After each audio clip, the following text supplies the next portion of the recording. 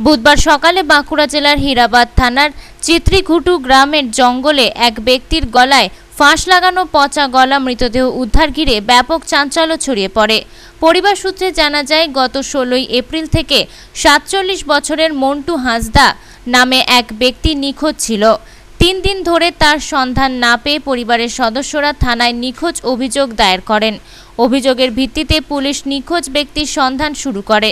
এদিন জঙ্গলে নিখোঁজ ব্যক্তির পচা গলা মৃতদেহ উদ্ধার হয়।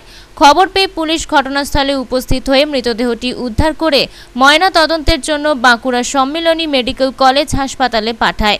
এটি হত্যা না আত্মহত্যা সে ব্যাপারে পুলিশ তদন্ত শুরু করেছে। ওটা আজ সকাল মোটামুটি সাড়ে পাঁচটার দিকে দেহটা পাওয়া গেছে আমাদের গ্রামের ছেলেরা ওদিকে সকালে পায়খানা করতে গিয়েছিল। তো আমাদের মেন রাস্তার সাইডে একটা জঙ্গল আছে। সেই জঙ্গলের মধ্যে একটা দুর্গন্ধ একটা গন্ধ ছুটছিল সেই দুর্গন্ধ অবস্থা থেকে বলছে ছেলেরা বলছে তাই তো এইখানটা গন্ধ আসছে কি দেখি না সেই তখন ওরা দেখতে পায় যে দেহটা গাছে ঝুলে ঝুলে আছে। আর কতদিন ধরে নিখোঁজ ছিল?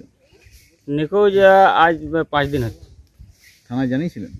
হ্যাঁ স্যার আমরা থানাতে মেশিন ডায়েরি করেছি।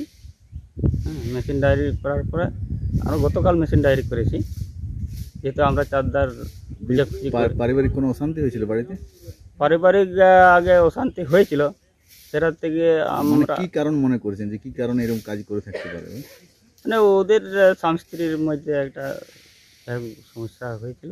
মানে পারিবারিক অশান্তি অশান্তি হয়েছিল। তার মাঝে আমরা গ্রামের ষোলো আনা তাদের যে সমস্যা সেটাকে আমরা মিউচুয়াল করে দিয়েছিলাম। মানে তাও কোনো হ্যাঁ। কারণবশত হয়ে আর তারপরে ওনার কি ইয়ে এলো তার তার তো বোঝা যাবে না। কে দেহ উদ্ধার করে নিয়ে এলো? উদ্ধার পুলিশ আজ সকালে আমরা খবর দিয়েছি, পুলিশ যায় বাঁকুড়া থেকে সৈয়দ মফিজুল হোদার রিপোর্ট, আনন্দ বার্তা।